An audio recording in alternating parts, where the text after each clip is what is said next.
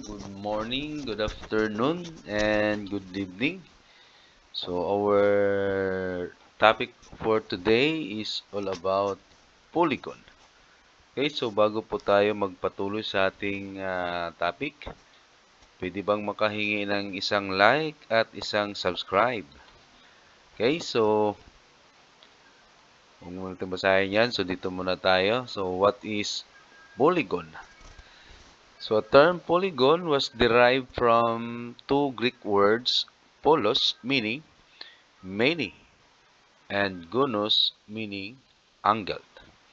Okay, so combining these terms, polygon literally means many angles. So, ito yung mga example ng polygon at saka non-polygons. Okay, balik muna natin. So, try to observe yung polygons at saka yung not polygons. Okay, so yung convex polygon, or convex, if we say convex polygon is defined as a polygon with all its interior angles less than 180. Okay, this means that all vertices of the polygon will point outward away from the interior of the shape. Okay, so ito yung convex na polygon. So, lahat ng mga interior angles are less than 180. Itong measure na yan, lahat yan 180 or less than 180. Okay? So, compare natin dito sa non-convex or concave polygon. If you say concave polygon is defined as a polygon with one or more interior angles greater than 180. Okay, may dumaan na airplane. Okay, so tuloy tayo. So it looks sort of like vertex has been pushed in towards the inside of the polygon. Okay, so ito yung convex na polygon So, merong isang angle dito na nag-measure siya ng greater than 180. So, kapag ganito yung measurement, ang tawag nito ay concave polygon or concave or, or non-convex polygon. Okay? Next. So, definition of terms tayo. So, meron tayong consecutive vertices. So, are vertices that contain one side of a polygon. So, yung if say consecutive, nagkasunod-sunod na vertices yan. So, meron lang siyang one side sa isang polygon. Okay, another one, consecutive sides. So, nagkasunod din ito na sides. So, are sides that have common endpoint. So, meron silang isang common endpoint yung consecutive side. Next is consecutive angles. If we say consecutive angles are angles of a polygon that have a common side. Meron silang common side yung consecutive angles. Okay? A polygon is convex if and only if dong each side lies on the edge of half plane containing the rest of a polygon. Okay? Example, yan ang polygon. So, number of diagonals. Titingnan natin mamaya. So, diagonal is a line segment connecting two non-consecutive vertices of a polygon.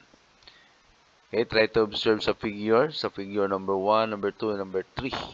Okay? Then, so ito yung parts of a polygon. So, parts ng polygon, ito yung vertex. Okay, the point at which two sides met. Okay? Or meet.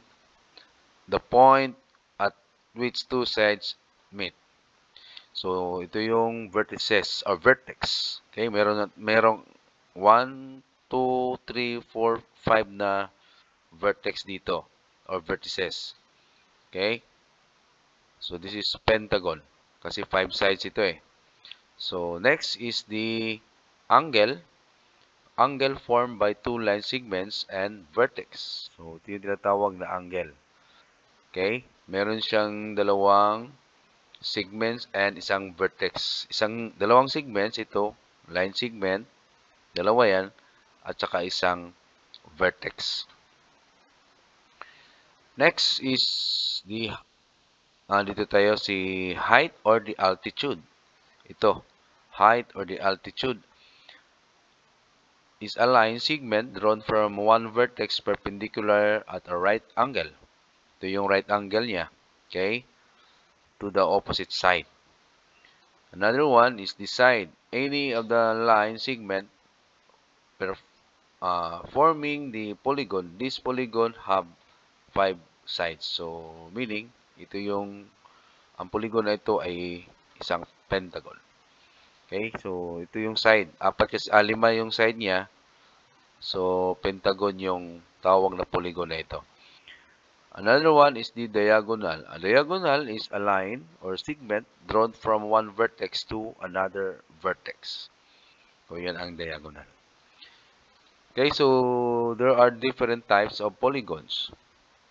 Meron tayong, uh, dito muna tayo, triangles. So sa triangles, merong equilateral triangle, isosceles triangle, scalene triangle, right triangle, obtuse triangle, and acute triangle.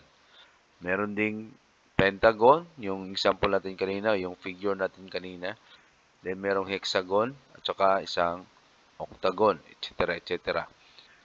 Okay? Meron din yung marami pa. Ititingnan natin kung ilang yung number of sides.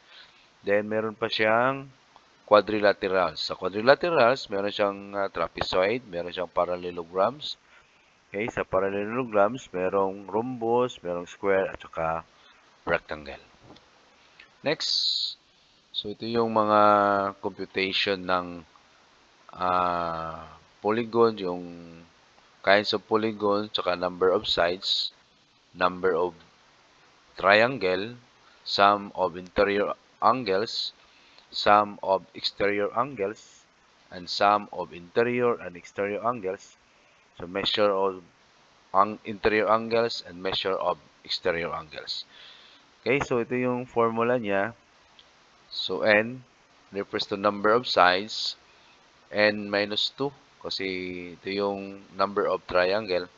Then 180 times n minus 2. Ito yung sum of the interior angles. Okay, etc. etc. Explain ko lang yan sa susunod ha. Mahaba kasi yan.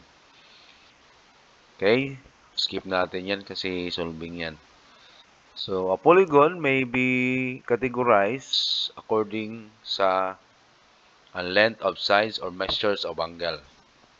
So, equilateral, So if, if and only if all of its sides are congruent to one another. Okay?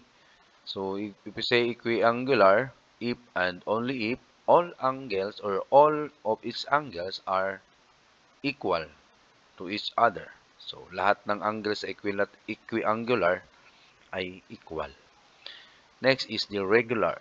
If and only if it is both equilateral and equiangular. Pwede siyang equilateral at saka equiangular. Regular na polygon yan. Okay? So, regular polygon, a polygon which all sides are equal, length at saka yung kanilang interior angles equal. Okay, so ito yung regular na polygon, square. Kasi nag-measure ito, yung angle nila ay 90, ito rin 90, ito rin 90, at saka ito rin 90. So, dapat equal yung lahat ng angle. Okay? At saka yung sides.